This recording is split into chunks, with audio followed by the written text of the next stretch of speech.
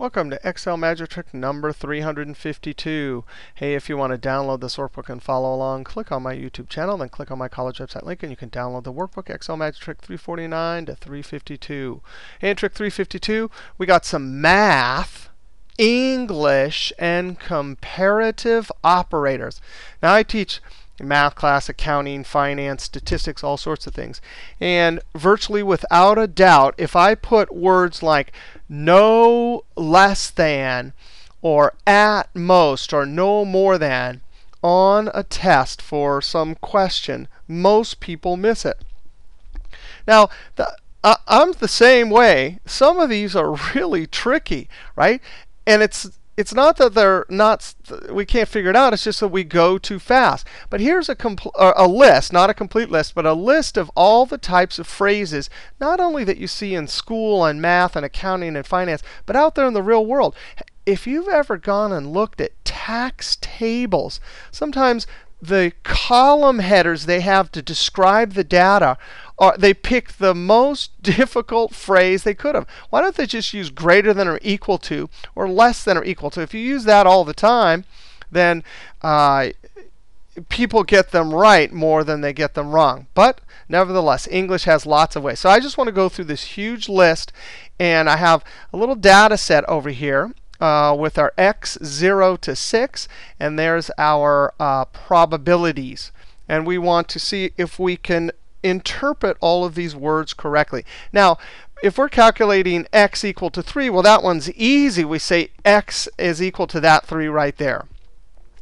Now, what about x greater than 3? So x greater than 3. Well, let's look over here. Greater than 3. There's the 3 and greater than. Oh, that means 3 is not included, so it's 4, 5, 6. So we do our keyboard shortcut for auto, auto sum, alt equals, and highlight just the ones greater than 3. Enter. Now, x more than 3. That is another way of saying greater than, more than 3. So we'll say alt equals, and it's more. It can't be 3 because 3 is 3. It's not more than. It's all of these ones. How about above 3? Alt equals above 3. Well, let's just look positionally, right? This word is from position, right? It's above. Oh, so it can't be 3 or below 3. It's going to be above. So we'll highlight those ones. Now, what about x greater than or equal to 3? Now, this one most people get. Alt equals. And it's going to be greater than or equal. Whoops. I need to move that screen tip double click that. Greater than or equal to. Well, OK, we know we're going up because it's greater than. But it also says equal to. So we've got to highlight that 3 also. Now, at least. Now, this is where we get into trouble. Now, think about what does at least mean? At least 3. It means the smallest it could be is 3. So really, 3 is OK. But if that's the smallest, could we go bigger? Yeah, we could go 4, 5, 6. The reason why people usually uh, don't get at least 3, or more people get it wrong than this one, is because it uses the less, the least. That word means less. And so you always tend to jump and go, oh, maybe that means less than. But it doesn't. It means the smallest x can be is 3. At least 3, alt equals. The smallest number it can be is 3, so we highlight those. Enter. Now, another one, no less than. Here's the word less right in it, but really ultimately means greater than or equal to. No less than. It means uh, it can't be less than 3. Well, if it can't be less than 3, it means everything else is OK. That means 3, 4, 5, and 6 are OK. So x is no less than 3. Can't be, well, what are all the ones less than? 2, 1, 0. So it can't be those. So when we alt equals, it's got to be 3 and above. Now, what about this one? Or more. So P, x is 3 or more. So when we look over here and we say, well, x is 3, so it could be 3 or more. So that means this direction. So when we alt equals, we saw 3 or more. Now that one's not as hard as far as greater than or equal to, we saw four of them here. This one's OK. This one's OK. The reason these are hard is because we have the word less in there when we're really thinking the other direction. Now, what about this one? Less than. x less than 3. Alt equals. Well, I'm going to find 3, and it says less than. So it can't be 3. It has to be 2, 1, 0. Now what below? This is that position like above we had up here. I can find it right there. So most of us get this one, Alt equals. Below, it can't be 3 because that is 3. It needs to be below, so we highlight those ones.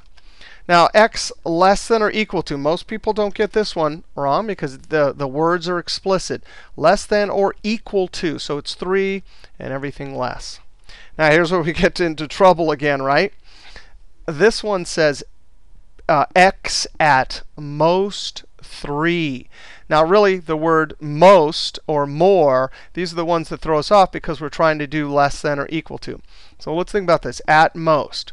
Well, that means the biggest it can be is 3, the largest at most. So it's going to be all of the ones below it, because those ones are fine. Is, is 0 uh, below 3? Yeah, it is. So all of these are fine. But the most it can possibly be is that 3.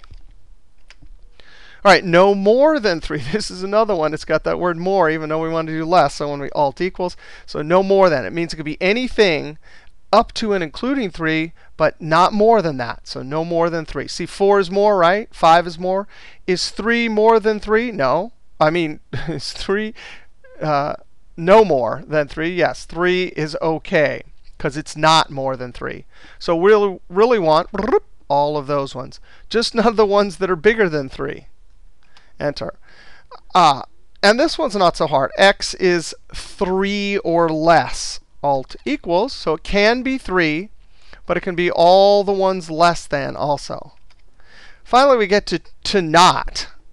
That one's not so hard because it just means everything as long as it's not 3. So when I Alt equals, I'm going to highlight all of these ones but not 3. And now I'm going to hold my Control key and then highlight every, everything else but not 3. Now, really, this one usually you don't see. Uh, it says x. I said complement because really the easy way to do this is to take the complement uh, of 3 and in statistics the complements everything except for that one particular thing. So equals 1 minus, in this case, I have a total here. Whatever the total was, you'd say whatever that total is, so I'll say equals that minus the one thing it's not, right? And then enter. All right, uh, a little bit about English, or a little bit about math, English, and comparative operators. All right, see you next trick.